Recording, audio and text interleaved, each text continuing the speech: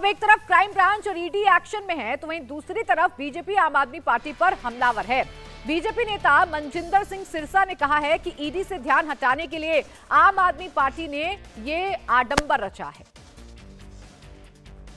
अब तक अतीशी जी भी अरविंद केजरीवाल जी की तरह कह रहे थे, हमारे पास सबूत हैं, हमारे सात एमएलए खरीदने की कोशिश की जा रही है। अब जब दिल्ली पुलिस बीजेपी की कंप्लेंट के ऊपर सबूत मांग रही है क्राइम ब्रांच के लोग पहले अरविंद केजरीवाल जी के घर गए तो अरविंद केजरीवाल जी घर छोड़कर भाग गए। अब पता चला है कि क्राइम ब्रांच वाले अतिशी जी के पास गए कि, बहन, आप ही सबूत दे दीजिए, आप ही वो नंबर दे दीजिए जिसने फ़ोन किया, हम उसको ढूंढ कर लाएँ, उसके ऊपर मुकदमा दर्ज करें, उसको जेल में डालें, जो तुम्हारे एमएलए को खरीदना चाहता है। अब वो भी गायब हो गई। क्योंकि ना कोई खरीदने वाला था, ना कोई बिकने वाला था ईडी से ध्यान हटाने के लिए ये एक अडंबर रचा गया था, एक जंजाल रचा गया था, जिसके अंदर अतीशी जी और अरविंद केजरीवाल जी खुद ही फंस गए हैं। अब क्राइम ब्रांच से डरते भाग रहे हैं कि हमारे पास तो सबूत नहीं है। अब एमएलए को फ़ोन कर रहे हैं, मुझे पता लगा कि तुम कह देना, मुझे फ़ोन आया था। एमएलए कह रहे, हम ना कहेंगे, ना हमें फ़ोन आया, ना हम मानेंगे, हम नहीं फंसेंगे तुम्हारे काम में। अब बेचारे इतने डरे फिर रहे हैं, घर छोड़ छोड़ के भाग रहे हैं। पर अतीशी जी, जवाब तो देना पड़ेगा।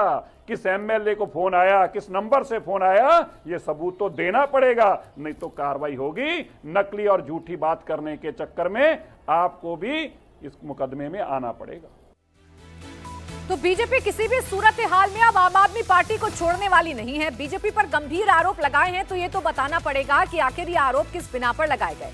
वहीं बीजेपी नेता हरीश खुराना ने कहा है कि अगर अरविंद केजरीवाल ने झूठ बोला है तो जवाब देना पड़ेगा। हरीश खुराना ने कहा कि आरोप लगाकर केजरीवाल भाग नहीं सकते। झूठ बोला है तो उसका जवाब तो देना पड़ेगा, चाहे वो आतिशी हो, चाहे वो अरविंद केजरीवाल हो। अब नहीं चलने वाला कि आप आरोप लगाओ और भाग जाओ। आपने अगर आरोप लगाए हैं तो सबूत तो देने पड़ेंगे, ये बात तय है।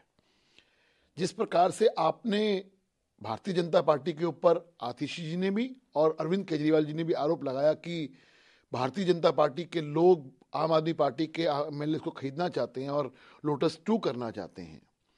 लोटस वन में भी आपने यही आरोप लगाया था लोटस टू में भी आपने यही कहा कि हम भारतीय जनता पार्टी करना चाहती है। तो भारतीय जनता पार्टी का हर व्यक्ति एक बात पूछ रहा है आपसे कि ऐसे व्यक्ति कौन से एमएलए हैं जो जो आप कह रहे हो खरीदना चाहते हैं, उनके नाम बताइए। और जो व्यक्ति खरीद रहे हैं भारतीय जनता पार्टी के, जरा उनके नाम बता दीजिए। अब नहीं चलने वाला। अब तो आपको नाम बताने होंगे। अन्यथा कानून का सामना करना होगा।